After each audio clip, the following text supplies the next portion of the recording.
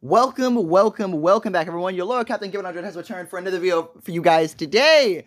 And today we are continuing the story upon uh, Sun Wukong Deku. This is chapter 2.5, the, the, the interlude of in between time.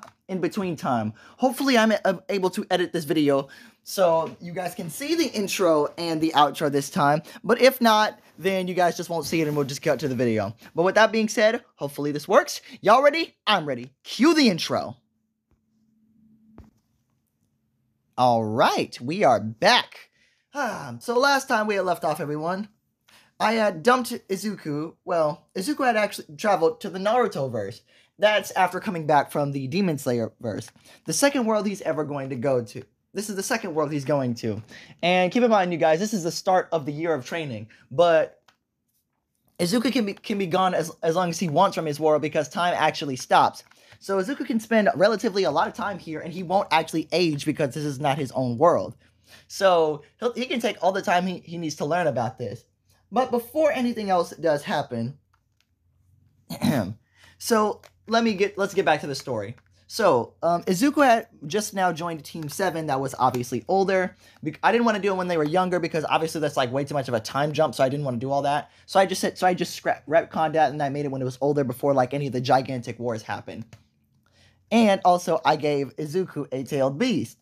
His name is Roku Ryu, which I'm going to show you guys later. Some of you OG fans might know uh, what, what image this is going to be when I pull it up. But for those that don't know, you're just, you, you're just going to have to, well, for those out there, if you know, you know. But if you don't know, then uh, you might want to do some research. All right. Anyway, so before any of that, um, while Izuku is on Team Seven, they explain to him how the world works and, and what uh, the power the power system is. And they explain to him that there that there's a thing called chakra, which is based off your life energy, and there's different forms of styles and uses for it.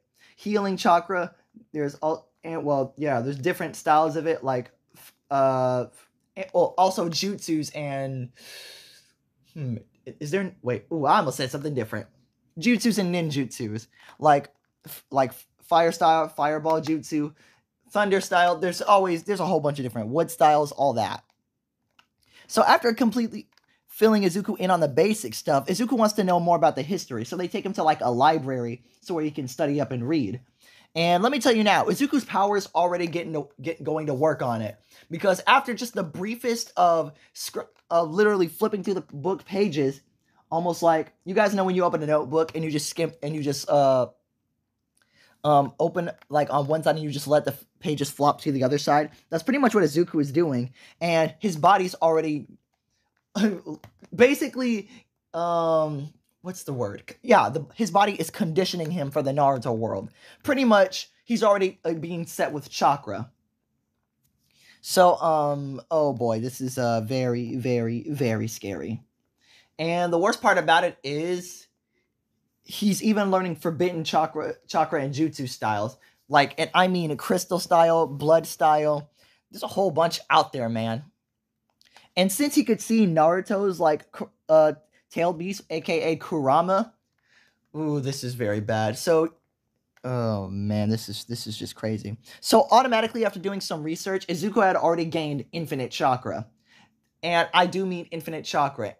So, there is no limit to how much chakra he can produce. He can literally heal people within a wide radius. So, and the most useful jutsu he's definitely going to spam a lot is the Shadow Clone Jutsu. Also, his Rasengan Oh, bro. Oh, brother. This this here is just ridiculous. But for those of that that are wondering about the tail beast he has, I'll mention that later. Since I don't want to go through every singular thing that's going to be going on, because I have little short interludes I want to do in between this, kind of like a little um, intermission. Because okay, if you guys watch the Deadpool and Wolverine movie, then you guys know exactly where I might go with and you saw Deadpool traveling in between universes for Wolverines. Izuku's going to be doing a little bit of that on the inter- on the interlude meantime because going through a lot of worlds is a is very tiring on me. But since I don't want to do that all the dang time, since I don't want to be, since I'm lazy and I don't want to go through absolutely everything, I'm just going to give you guys a, a brief short appearances on what Izuku can learn and gain. But the major worlds, I'm going to give you guys a full taste like I'm doing now, like the Naruto world. So, Izuku going throughout the Naruto world is pretty straightforward and fun for him. Meeting all the old masters. Sadly, Jiraiya did. Sadly, you know what? Just for the sake of this, I'm gonna say Jiraiya didn't die yet because there's a lot you can learn from these old from these old masters. My my my dude, you there really is a lot. So uh, I know like Jiraiya died and stuff like that, but just for the sake of the story, let's just say he didn't die yet. So Izuku going around the Naruto world, learning about all these different styles, uh, jutsus, and chak and chakras. All this is actually pretty fun, and he actually gets to meet the other uh, users of the tailed beast.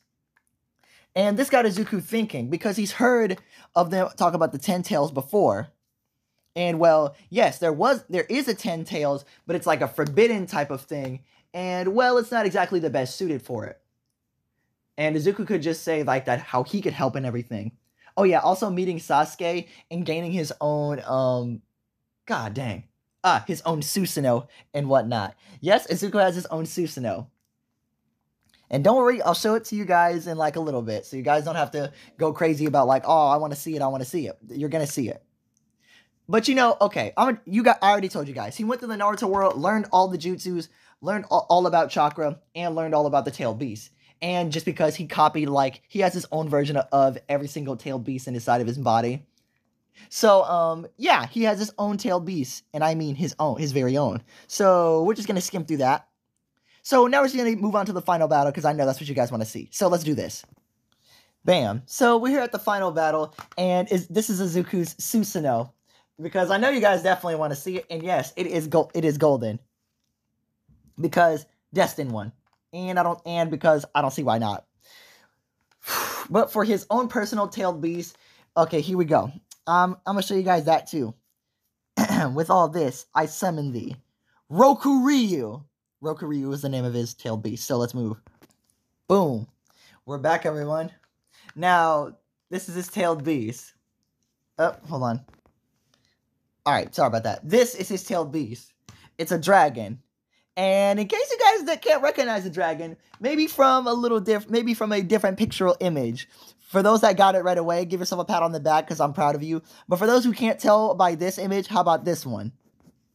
Bam. Yeah, I bet you recognize it now.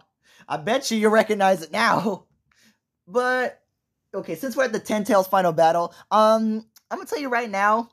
Yeah, Deku's Tail Beast is much, much, much bigger than a natural tailed beast. Since it was created from its own chakra reserve, which is pretty much infinite, um, it's about the size of the t- of the ten tails. Wait, no, it's actually bigger. Let me show you. Woo, we're back. So yeah, the ten tails would be bigger than that um pyramid and uh, like would be that bigger than that pyramid, maybe the size of it of like a mountain of some such. But um yeah, Roku Ryu I, I know what the original name of the dragon is. I'm just not saying it for copyright reasons. Roku Ryu is like a dragon that can split the fucking heavens. And I'm not talking metaphorically, I mean literally. Like one blast from one beast bomb uh from that from that thing, yeah, you might as well count yourself straight or like he won't send you to the afterlife. This will send you straight to oblivion. My god. But anyway, hold on a second. A little bit of, uh, of a quick thing before we can move on. Izuku actually seeing the Ten Tails and seeing how powerful it is, seeing it as how it's the mother of all the other tailed be- beasts, he couldn't actually let that power go to waste and whatnot. So he had an idea, and that was to seal the Ten Tails within himself. So the others, since they're always like pretty much tired and injured at this point, Izuku had no problem going through with it. So he used his infinite chakra, chakra reserves and he used Roku Ryu, his own tailed beast, to actually seal the Ten Tails within him. And uh, yeah, he's able to utilize its full power. And I mean full power. Yeah, that uh, giant rabbit form. Oh yeah, the Ten Tails is in that form permanently because of Izuku's infinite chakra reserves. It can feed off of his chakra. But the thing is, the Ten Tails is completely under Izuku's full blown full blown control. Because Izuku's so strong, Izuku is suppressing the Ten Tails and now he controls it fully. Damn. So yeah, Izuku just ended that war just like that, so quickly. Because he, he is that guy. So with the war being over and everything, everything is now starting to go into a, a land of peace.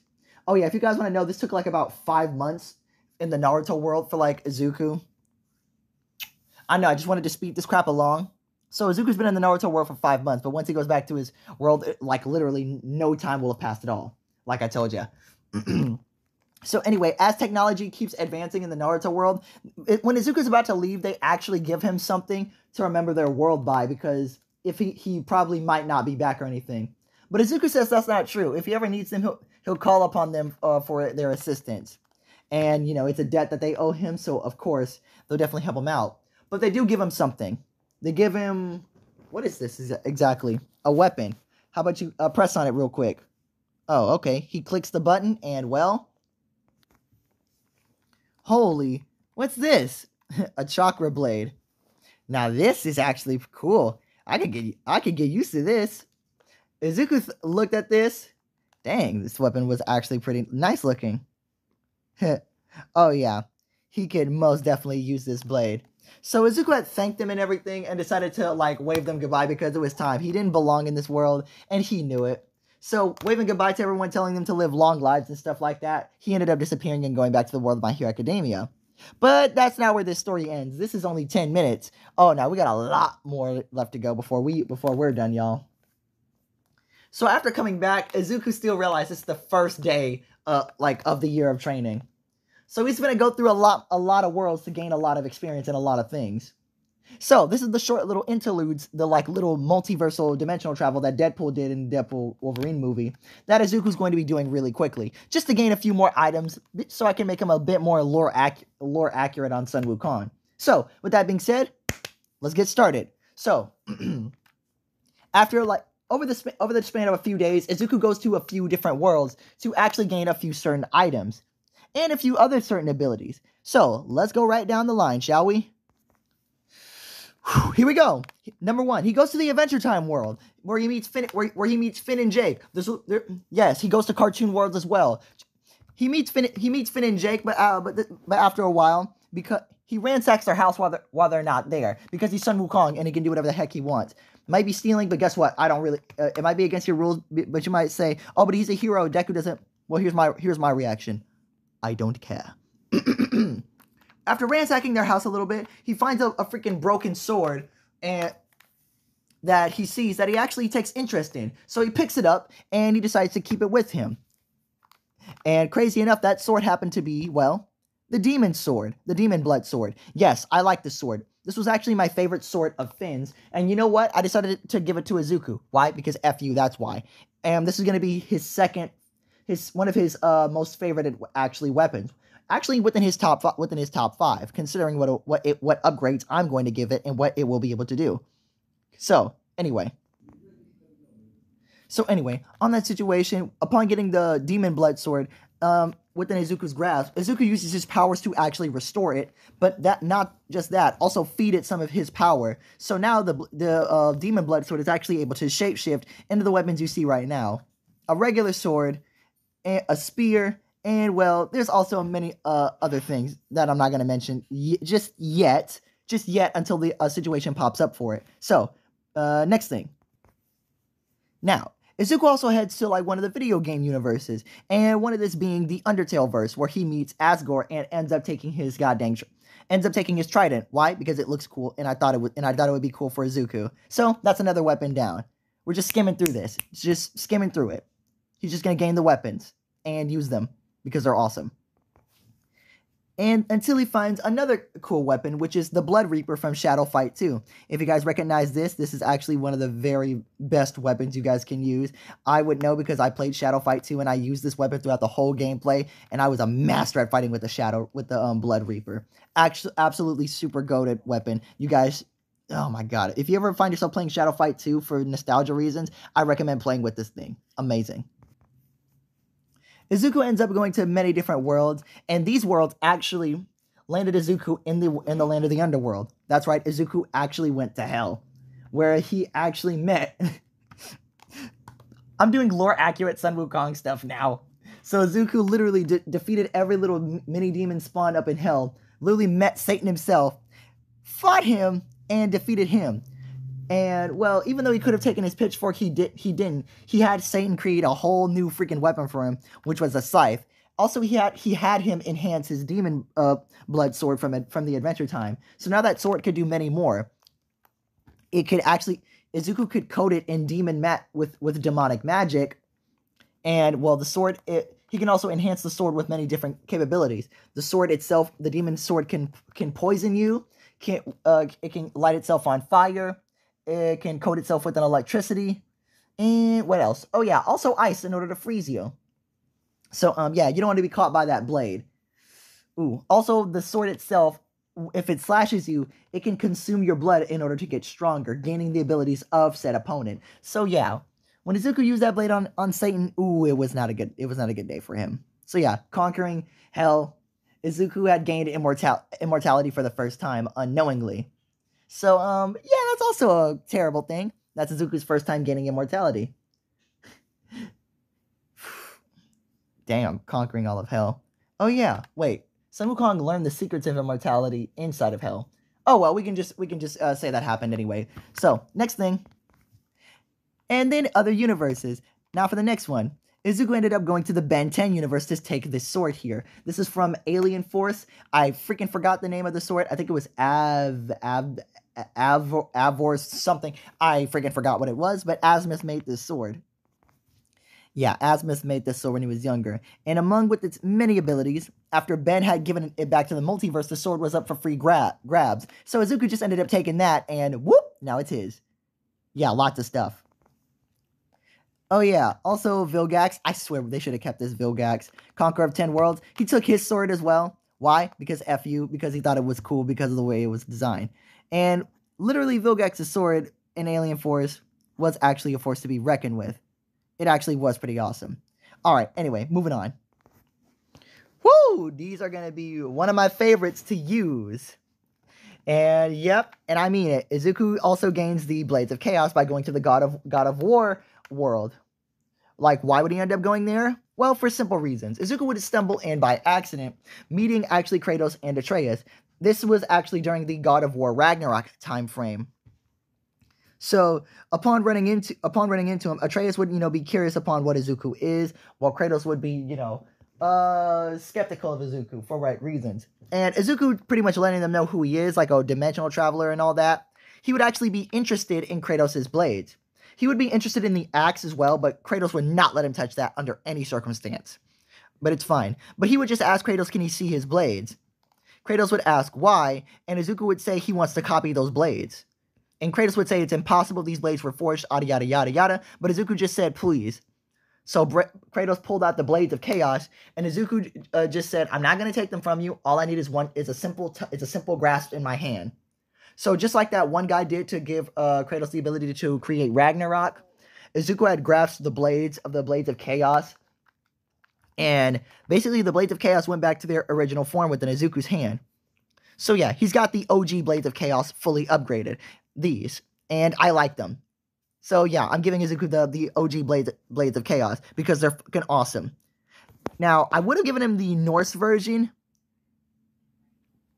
but you know, they're still the same Blades of Chaos, just a bit more powerful. But I don't like how the Norse Blades of Chaos is actually designed. It takes away like all the ferocious and sharpness that these blades got. I mean, they just look cooler that way, from in my opinion. So Izuku has the OG Blades of Chaos fully upgraded, with all of their upgrades being able to cast fire, electricity, uh, uh, uh, whatever any of that stuff is. So, but still, after spending some time with Kratos and Atreus, he also gets a few things off of them as well. I don't mean he steals things, he just learns some things. Like, well, for one, he gains he gains the ability to re- to self regenerate. So yeah, Izuku gains himself a healing factor. It was about time I give him one. I'm not sure if Sun Wukong actually has a healing factor. I mean, well, I know he has Im- uh, layers of immortality, but that doesn't contribute to him healing. But just in case, I'm still giving him this anyway. So hyper regeneration, he can easily just do stuff like like this. And what else? Oh yeah, the Spartan Rage. I this was definitely one of my favorite things that I definitely wanted to give Izuku. Something to actually enhance it. So being able to tap into his rage, being able to enhance his strength beyond levels and levels of comprehension. So um whoo boy. When Izuku uses Spartan Rage with Blades of Chaos, you're dead. Yeah. You don't want to be on the receiving end of Spartan Rage with Blades of Chaos. especially when Izuku's like that. All right. Anyway, now it's time to to backtrack until uh, until like some more OG game lore. So upon hopping through more video game lore and everything else, Izuku ends up running into the OG main man Asura from Asura's from Asura's Wrath or Asura's Wrath. I don't know how people say it. I say Asura. So yeah, going to meet Asura for the first time was was an immensely goaded thing because he did train with Asura for a while now upon learning his reasons, gaining access to his strength and also his rage. And that includes the Berserker form. So just imagine this, Berserker this level of Berserker with Izuku's power, with Kratos' Spartan Rage, and like the the the eight inner gates with zero backlash because Izuku learned that from freaking Naruto. Oh boy. Somebody's fucking yeah, it's beyond dead. Like I said, going through video game worlds like this, pretty cool. Alright, anyway, moving on. We still gotta keep going. There's still a lot more for him to go through. Alright, now we're back here again. It was bound to happen to where Izuku was going to end up in in the in his own in his own kind of based off video game, the game of Black Myth Wukong. If you guys haven't seen the Black Myth Wukong, then it was in my live streams. I'm not going through absolutely everything all over again. Heck no. But I'm gonna tell you guys. Basically, Izuku takes the place of the Destined One within Black Myth Wukong. So the Destined One, pretty much just imagine that as, as Izuku, and he gains all that experience and everything else learning all the skill sets and, and everything, and gaining all the other weapons and stuff that I gained. And just to keep you let you guys know, I completely platinumed that game, so there's nothing I don't have. Also, Izuku's gourd that he that he gains is absolutely just busted. So let me explain to you all what it does. This is the King Tang gourd. This gourd you get after completing all of like that journal, like you get all the pictures and everything within it. Oh boy, let me tell you now, it was a it was ridiculous getting this. Now, okay, I'm gonna explain how this gourd works in the game. This this gourd specifically, you have unlimited sips with this gourd. Basically, you drink it, but it's it's you only can sip it one time, and it, and it takes time for it to refill. I think 15 to 30 seconds, maybe. I don't know. I haven't timed it, but the gourd literally has unlimited uh, refills as long as you, as you don't need to spam the usage of it. But um, that's the catch. It takes too long to refill, but you only can sip it once before it's completely empty, but it'll just keep refilling itself, but you can only sip it one time. But for Izuku's case, that's completely different. His King Tang gourd actually does have unlimited amount of uses. You know how you can only sip like in gourds 10, 5 times, maybe 8 or 9? But for Izuku, that number actually is infinite because we're going to a uh, lore accurate Sun Wukong here, not game lore. So with this, with Izuku's gourd like this, he can drink the gourd as many times as he wants, with it fully restoring his health and his and his mana, his stamina, anything else. Because yeah, now he has mana in all this. And also with this ability, he gains the spells and everything else that you would also get in Sun Wukong, and well, Black Myth Wukong. Those out there, you guys know what I mean. Rock gaining rock solid. Where is it? Ring of Fire, immobilize, uh, god dang, what's this? Oh, Spellbinder, which is, oh my god, literally busted. Cloud Step, Pluck of Many, which is one of Izuku's favorites to use, and the and those little tiny clones. Izuku can make as many clones as he wants. There is no finite number. Life-saving strand because, well, yeah, that. So you can you may be able to defeat Izuku, but guess what? He'll just come right back. And the transformations that you get. Red Tides, Azure Dust, I think. Ashen Slumber. I forgot the name of that one. Ebb and Flow. Yeah, this one is pretty cool. Yeah. Yen Tiger. Oh, no, that's Ebb and Flow. Yen Tiger right there. Uh, that's Yellow Long. I forgot the name of it. Golden Long. That's the uh dang, I keep forgetting I forgot the names, but I know the quest. It's the quest you do in chapter four. Oh, this is the same thing. Hold on.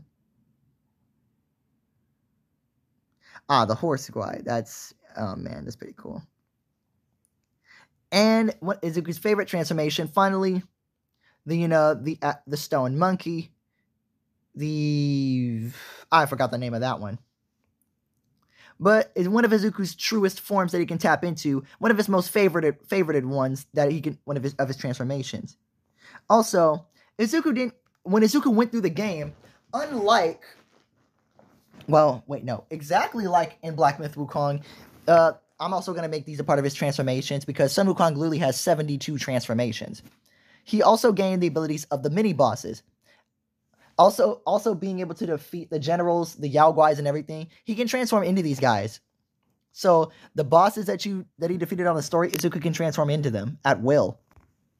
Some of you guys might be saying, "Oh, that's broken," considering how many bosses are in this game. Well, the thing is, I straight up don't care. Don't care. Also, Fubin is like the literal easiest min- secret boss to kill. If you died to Fubin, you just deserve that. I swear to God, you just deserve that. You should not be dying to him. But yeah, every single one of these bosses Izuku can transform into, no matter who they are, especially this thing. Hmm. Okay, except for the Great Sage's Broken Shell. This is game lore, but Izuku is stronger than this game uh, Broken Shell here. And Izuku can dish out the same level of disrespect that thing did to me. I'm telling you, man, this thing pressed me hard. Pause. But anyway, but like I said, Izuku also gained the weapons. The giant fight still happened. Oh yeah, Erlang Shen. And you know the Mad Tiger. Izuku gaining Erlang Shen's mini spear was actually one of his greatest assets that, that he does. Because if you guys have seen, well, you if you guys see my live streams, you know what this sword can do. Uses a focus point. Izuku has infinite focus points, so he can do do the like the giant uh the giant sword the sword spamming spear thing endlessly. Not just that, also gaining the golden long staff, being able to strike opponents with thunder. You know what? Yeah, Izuku does get the Ruyi Jingu Bang, but it doesn't. But it, but it's but like before, well, just like in the game, he gets game Sun Wukong's memories and everything. So like Journeys to the West and all that, not the true actual Sun Wukong. But Izuku doesn't really like the uh the the Ryu Jingu the you know Ryu Jingu Bang because it doesn't feel like hi, it doesn't feel like him. It's it was Sun Wukong's weapon. It's not Izuku Shimura's weapon. So even though he'll use it, he wants he wants something better to for it to, for something to fit him. What's next? Oh yeah, he also gained Erlang. Not only does he get his spear, he also takes he, he also steals his axe as well. Because why? Because I can like that axe. It's pretty awesome. But anyway, yeah. Still moving on. Next. Oh, whoops! I almost forgot. While going through the game, he also unlocks all the all the relics of you know Game Wukong, so he has all those little, little hidden abilities as well. With it being awesome. Moving on. Next. Also going to the world of Mob Psycho 100 becoming an, an all-powerful Esper with infinite power. Yeah, I'm just I'm just throwing stuff out there, y'all. Just making Izuku all the more broken. Keep, let's keep it going. Because on God, there literally ain't gonna be nothing in fiction to stop Izuku once I'm done. Absolutely nothing. I'm just gauging up his power before I go to any of the more too crazy worlds. Anyway, let's keep it going. And crazy enough, oh boy, Izuku ends up going to the world of One Punch Man. While he arrives there, everyone like thinks thinks he's a monster because he came out of a portal.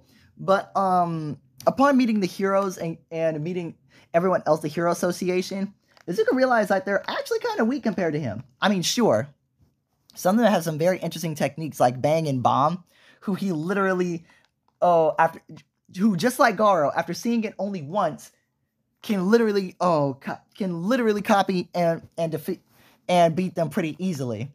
And this does get everyone's attention because, you know, eventually Blast does shows does show up and, you know, the same shtick ha- actually does happen. So Izuku basically pulling a Garou and learning every single singular move out there. Hey, he even gets his own cosmic form, but it's not by the hands of God, it's literally just by copying it. So, um, oh crap. Until like, because seeing how powerful he is, he actually challenges Saitama to a fight.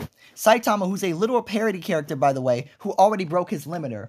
When him and Izuku actually start clashing together, wait, hold on. Izuku creates like a he creates his own pocket dimension where him and Saitama can actually battle to their heart's content. And upon it, crazy enough, Saitama can actually feel Izuku's punches. Because while Izuku's adapting, yes, Izuku gains a lot more um abilities over time, uh, uh, guys he gains a lot of stuff over time. And going through these worlds, I'm going to tell them to you. Oh boy, but just know. Oh boy. Yeah, just know that it's too much. So Saitama, a being who's a parody character, a manga who literally broke his limiter. Crazy enough, Izuku Izuku's body adapts so much that just like Saitama, he also broke his own limiter. Oh yeah, so now Izuku truly is infinite. Gains strength just by literally standing there. He doesn't even need to work for it anymore. He literally just is that strong now. And eventually, uh, contrary to what you guys might believe, Izuku fin- actually does defeat Saitama, finally giving him the thrilled battle that he actually wanted. And Izuku ends up disappearing now because he goes to different worlds. He also goes to other worlds. Uh, I'm just gonna do quick mentions of them, so let's just get this over with. He goes to the world of Black Clover, but and gets his own grimoire. But finding like the use of magic in their world kind of redundant and dumb because it's I mean it requires a freaking book to use. But he still has Omni magic anyway, so hey, that's still a quick thing. All right, next world. Dang. Oh dang. Well, y'all, it seems like I went through all the little interlude worlds that I wanted to go through. Dang, I didn't mean to go through all of them. Oh well, I just got too caught up in it. But now, because since Izuku keeps going to different worlds, his body kept adapting and kept learning a lot more stuff. So now I'm gonna have to show you through the Power Wiki what exactly else he gains while going to these worlds. And since he went through a lot, so I'm gonna be just showing. I'm just gonna show you guys the rest of them. That way we can. That way I can just skim through it without having to uh having to go back and show you guys every every little time. So let's just go through these things through the rest of them, and you guys, and then I'll probably end the video after that. Maybe. You know what? Nah, we're gonna we're gonna keep it going. Woo! All right, y'all, we're back. So we're just gonna go through like these powers and everything. Just read them. It's gonna be brief, and then I'll just move on to the next thing. If you guys want to uh, see these powers for yourself, come on the power listing fandom or wiki and see them for yourself. That, that way you can see what Izuku has. But this is absolutely everything. If I showed them once before, I'm sorry, but here we go. We're just gonna go through them all. And here we are, superior adaptation adapt to anything and quickly evolve, kind of like how Garou does. But the thing is, Izuku adapted to Saitama's broken limiter. So the thing is, Izuku also has a broken limiter. So now there is no limit to just how strong he can get. So just like Saitama, Izuku is pretty much a parody, a walking parody, straight up infinite. So uh, next power system. Here we are, arcane, arcane potence. Come on, stupid thing. All my own. the state of omnipotent over magic. So all all types of magic. I already I already said that. All right, next. And here we are with the next one. I think this is probably King's ability in One Punch Man, absolute luck. But hey, have limitless luck. Come on, that, that it's pretty self-explanatory. I don't need to explain that. Next.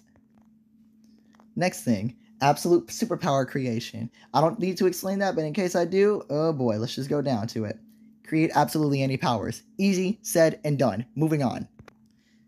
Now, here we are with the more scarier abilities that Izuku obtains. Absolute erasure. Oh boy. Wipe away everything and anything on all levels. Don't need to explain that. Just moving on. Before creation comes destruction. Get off my out of my face, man. Here we are. Absolute superpower creation, absolute superpower destruction destroy powers on any and all levels. So yeah, Izuku can do that as well. And here we are with the next thing. Sparking Zero available now. Uh, yeah, I'm gonna play. I'm gonna buy that soon. Absolute summoning. I, come on, summon any object or entity under your control. Easy, because Izuku pretty much does that. Al- already has that already, but he can do that too. He doesn't need to become the transformations from Black Myth Wukong. He can also summon them to fight with to fight for him. Next, here we are. Next, Almighty Mind. One of the other more broken things Izuku has. Come on. That's that can do anything. Yeah. So uh, Azuku, I'm trying to make uh, this Azuku lore at like the actual lore accurate Sun Wukong. You guys tell me if I'm doing a good job in the comment section down below because you know I'm, this is why I'm giving him all these abilities because I'm trying to make a lore accurate Sun Wukong, but I don't know if I'm doing it right. So let's just keep it going. Omnifiance.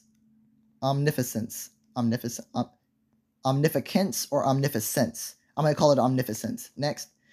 Create absolute anything and everything without a limit. Simple, said, and done. Next. Of course, true omnipotence. God dang it. Hold on. Stupid thing, go down. There we go. What kind of Sun Wukong would this be if he wasn't, well, surely the truly heaven's equal if he wasn't the omnipotent if he wasn't omnipotent. So yeah, the one above all. Come on now. I don't I don't really need all my yeah, the state of being su- supremely almighty and all powerful. Sun Wukong is the number one a candidate on the battle board, meaning you can't beat him. So I gotta make the Suzuku accurate to that. So hopefully I'm doing it right. All right, here we go. Next one. I think this is probably one of the one of the last ones. I'm not sure. Eternal evolution. Evolve without measure. Pretty much, yeah. Already doing that for him. He's still gonna okay. The power to evolve endlessly with no limit, leaving the user in a constant state of evolution. Pretty much, yeah. Like I said, Saitama, he already been broke his limiter. Izuku pretty much is infinite, and just by existing, he's already getting stronger. Alright, next thing. Primordial order manipulation. God dang it. No. Okay, to power to manipulate primordial order. I don't know what this is. Uh, okay. Also, the user possesses an extraordinary and profound to wield and manipulate the fundamental prime- primeval order that underpins the very fabric of existence. Oh, okay. Yeah, yeah, yeah. Okay, cool. Still going. Primordial chaos manipulation. Manipulate primordial chaos. The power to manipulate, yeah, the primordial chaotic forces of existence. God dang, yeah, we're still going. I'm trying to make a, a lore accurate Wukong here. Maybe he can do like because Wukong becomes a true omnipotent god at the end of it. So I'm just giving all this stuff to Izuku. And keep in mind, this is before his story even started. He still isn't even gone to the entrance exam yet. So he, and he's already this powerful. My God. Complete arsenal. Sorry, sorry guys. These things just keep coming to me, and I got to keep it going. So yeah, complete arsenal. I don't even the state of possessing absolutely all powers and abilities. Easy. Next. Next one Eternal Transcendence. Oh boy. What's that? The state of being in an endless state of transcendence. Oh, pretty much he becomes Alucard. He exists and doesn't exist at the same time. Oh yeah, Izuku did travel to uh Hell's Hell's God, no, I forgot the name. He traveled there and he defeated Alucard, taking all of his powers and obtaining him as a spirit. So, uh, yeah, sorry, but your fa- but your favorite vampire god ended up dying to Izuku, and Izuku now possesses his soul. Well, he has his soul in his arsenal. Next. Woo, we're back with this. Omnilock. Oh boy. The state of existing outside absolutely everything. Oh yeah. So Damn. Yeah. Damn. Omni manifestation. Stop popping up in my face. Man- manifest oneself without limit. The, oh, okay. So, yeah, he exists and yet doesn't exist at the same time. You, meaning you can't, meaning you, meaning you can't beat him, nor nor can you kill him because uh, endless amounts of immortality on him.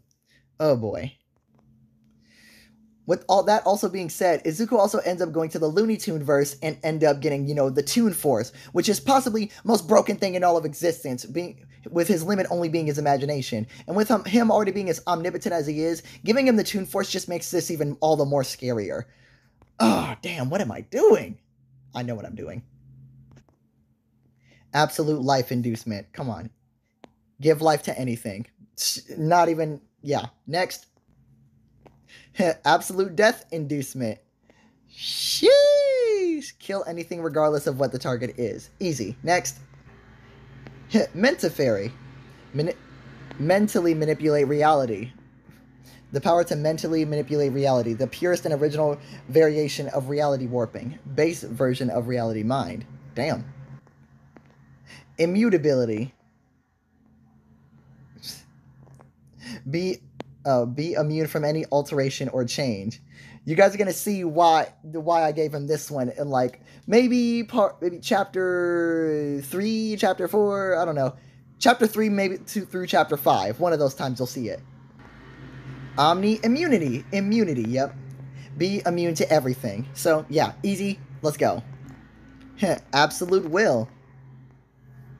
Possess absolute strength of will. Yeah, come on. It don't need to. Next. Absolute invincibility. Come on now. Oh boy. Invi- uh, yeah. The state of being undefeatable and indomitable. So yeah, like I said, lore accurate Wukong, you can't beat him at all. Absolute condition. Possess lim uh come on, dang it. Pos possess limitless overall capabilities and attributes. Ooh, goddamn. Absolute restoration. Restore anything back to its original state. Yeah, I mean, come on now. Yeah, to its natural original state. Easy. Boundary manipulation. Where is it? He can manipulate boundaries. There it is. I was wondering where it was at. Alright, anyway, well, easy. Absolute transcendence. Wait, did I already do this? I don't think I did. But if I, in case I did, sorry, I think I'm, I might be doing it again. Transcending absolutely anything and everything. So, woo! And th- okay, that was pretty much it. That was all the the abilities Zuko gained while going to those worlds. And every time he went to a different world, he gained each and every single one of those. The ones I sh- the powers I showed you in the past, he's in the previous parts he still has, but the ones I showed you now go along with the world he's going to, and he already has all of that. But keep in mind, y'all, his journey's still just starting. He ain't not even done with the year of training yet. Going through all of those worlds, literally, I'm gonna just say three months have passed. Yeah, only three months and he's not even done yet. Oh yeah, I forgot to mention he also went to uh, the world of Bleach, getting all getting his own Bankai and everything. So um, yeah, pretty scary. Oh boy, but because of this, now it's time to go to another another world. You know what? Now I'm gonna say a lot of uh, many many months have passed. I'm gonna give it close to like, dang, how many worlds has that been? Has Izuku been to nowadays? Man, it's like almost close to 20 at this point because he's been to game worlds, he's been to anime worlds, he's been to worlds like beyond fiction. There is one world I'm saving specifically before the sports festival because you know I want to make it a very good special. So with that being said, there there's like a ancient a big tournament of gods going on that Izuku is going to be partaking in. If you guys know what I'm talking about, put it in the comment section down below, then I'll pin your comment. But still, with Izuku gaining all these abilities, I'm gonna say like the year is almost past now. Like he still has. Let me see. Let me see. What did I give him? Uh, three more worlds maybe. Yeah, he just he. I I said he got he went to Bleach in, too as well. So. Okay, we still got that. And that. Uh, hold on. Let me take a look, y'all. All right, I'm back, y'all. Three. He has three more worlds to go to before we can start the entrance exam. So, um, okay, this is chapter 2.5.